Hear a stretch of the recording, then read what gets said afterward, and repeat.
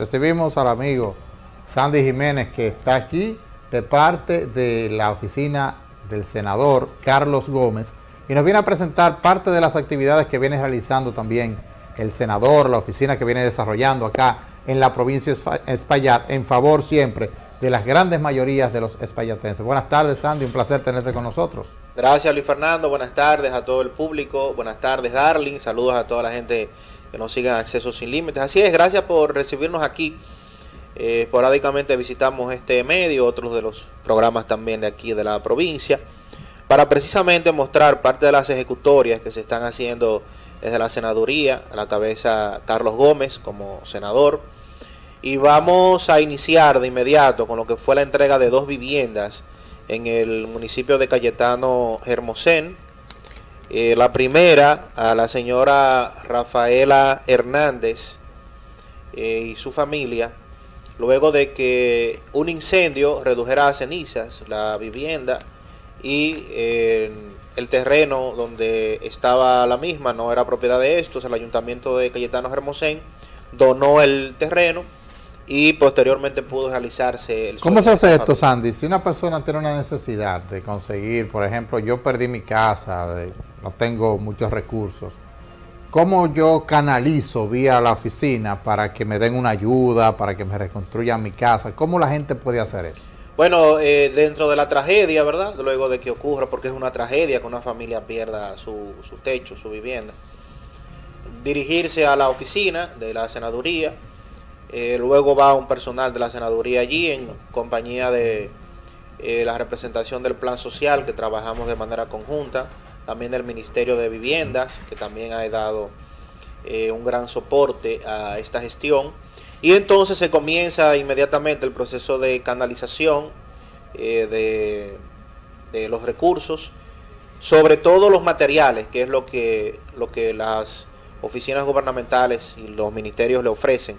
Ya la senaduría se encarga de lo demás, mano de obra eh, y otros utensilios que puedan faltar para entonces poder desarrollar esa parte. No tiene la vivienda que estar dañada completamente, puede ser una vivienda que por ejemplo necesite solo el techo. De hecho, en, este momento se está trabajando en 23 viviendas, se le está cambiando el techo, se le están haciendo reparaciones, se le está haciendo el vaciado de los pisos, o sea que no necesariamente tiene que ser eh, total, sino que también se hacen acciones de reparación, de ayudas, eh, de manera constante eso se está haciendo. Bueno, eso es para, es bueno como información general para las personas que necesiten obtener este, estos beneficios, porque recuerden que el senador trabaja para todos, es para todo el mundo. No tenga usted temor de acercarse a la oficina, que allá va a haber un personal siempre que lo va a estar atendiendo, recibiendo su solicitud, pero también entiendan, y eso es bueno que lo aclaremos, que no va a haber siempre soluciones para todo el mundo lamentablemente.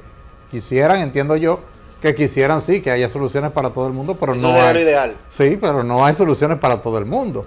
Y quizá hay soluciones parciales para alguien. Usted necesita que le reconstruyan completamente la casa. Bueno, podemos hacerle algo a la suya, pero hay otra que se quemó completamente y hay que entender también las prioridades. Creo que sí, que ya tenemos las imágenes. Vamos a ver si la comenzamos a compartir, las imágenes que tú estabas solicitando ahora, de la entrega de las viviendas que hizo la oficina senatorial. ¿Tenemos las imágenes? Bueno, parece Bien, parece que tenemos inconvenientes. De todas maneras, se entregaron dos viviendas, una al señor Juan Zapata, que también en Cayetano Hermosén hace unos días ocurrió un ventarrón que destruyó algunas viviendas y, no se pudo, eh, luego han sido reconstruidas una parte también eh, se estuvo haciendo entrega de útiles escolares, mochilas, en nombre de la senaduría. Eh, se visitaron los sectores. Bueno, aquí en el programa Acceso, recuerden que también hicimos entrega de, algunas mochilas. En el barrio Manuel Rodríguez, en el municipio de Cayetano Hermosén. Ahí estamos viendo las imágenes del barrio Manuel Rodríguez, precisamente de estas entregas. Vamos a escuchar. Nosotros no se ha olvidado, ya va para dos años y siempre ha estado pendiente de nosotros. Y démosle muchas gracias al senador y vamos a darle un aplauso al senador porque se ha cuidado de nuestros estudios de todos los niños. Gracias.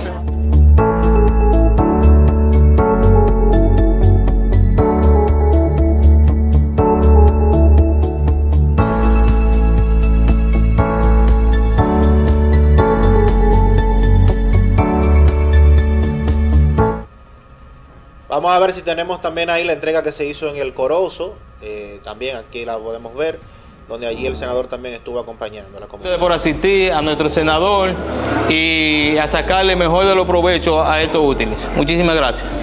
Nosotros queremos exhortarle a todas las madres que ayuden a sus hijos a que sigan estudiando, lo ayuden con la tarea y que desde temprana edad tenemos que a, esos niños eh, ayudarlos, ¿no? Para encaminarlos por el mejor camino que es la, educación. Eh, esto que le estamos trayendo aquí, que sea de la mejor, que lo use de la mejor eh, manera posible. Es decir, que muchas gracias y que Dios lo bendiga a cada uno de ustedes. Gracias.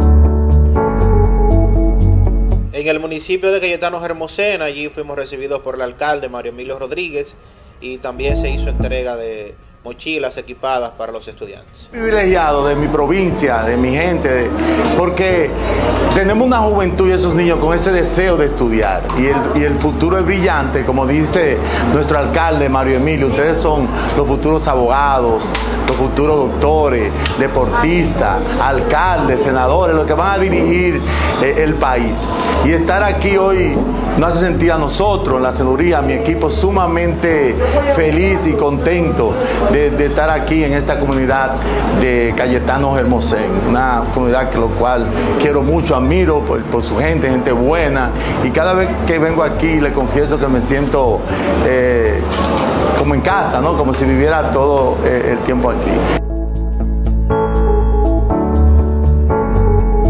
Vamos a ver si tenemos el siguiente video. Corresponde a la respuesta que ha estado dando el gobierno aquí está, a las viviendas que resultaron afectadas del huracán Fiona. De manera conjunta, todas las instituciones y allí también el senador aportando desde la senaduría querido presidente Luis Abinader, lo cual inmediatamente eh, pasando el huracán Fiona instruyó a nuestra querida ministra Anida Vázquez para que coordinara con todas las instituciones eh, del gobierno y la senaduría de Espaillat para que esta familia en poco tiempo puedan volver a sus hogares. Aquí tenemos esta brigada, los muchachos de obra pública, muchachos, tenemos un compromiso con, con esta persona de devolverle sus hogares lo más rápido eh, posible de antemano quiero decirle a, cada uno de ustedes eh, muchísimas gracias por el esfuerzo que han hecho y manos a la obra, a trabajar. Estas viviendas ya prácticamente están listas en Villatrina, eh, Juan López y otros sectores de esta zona, las lagunas también, que fue donde más afectó eh, el huracán Fiona a través del Ministerio de la Vivienda, Dirección de Apoyo al Desarrollo Barrial, Provincial, eh, obras públicas, todas las instituciones eh, involucradas y de esta manera dando una respuesta inmediata a las necesidades de la población. Vamos entonces a ver lo que fue eh, la iluminación del play de la comunidad de Batey Ginebra en Veragua cada vez que piso una cancha deportiva, un play deportivo, siento mucha alegría y esa pasión porque vengo de ahí. Sigan practicando deporte. Lleven a sus hijos a practicar deporte. No importa la disciplina que el niño elija, pero creo que a través del deporte podemos tener un mejor país, mejores hombres, mejores mujeres. Siempre sepan que la oficina senatorial está a la orden en lo que podemos servirle. Muy orgulloso de mi provincia. Que Dios nos bendiga siempre.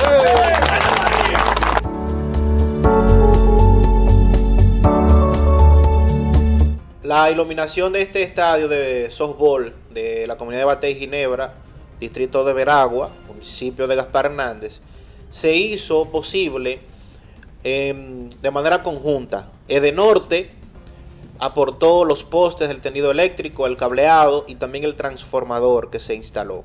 Pero las luminarias fueron donadas por el ingeniero Rafa Santos, por el señor Luis Canela y también por el senador Carlos Gómez. Así que de esa manera, de manera conjunta, se logra eh, que este estadio, que esta comunidad, por más de 25 años anhelando el alumbrado de su play de softball, pues ya pueda desarrollar actividades de manera nocturna que la energía del sol que el sol nos provee no sea una, excusa, sino que también puedan darle el mejor de los usos en horas de la noche.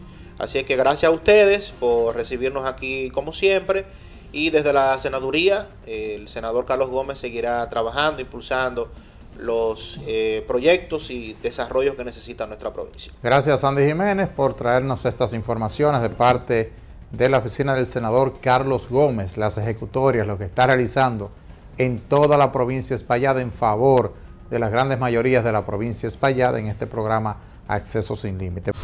Acceso sin Límites es de Enjay Productora. Enjay Productora. Marcamos la pauta a seguir.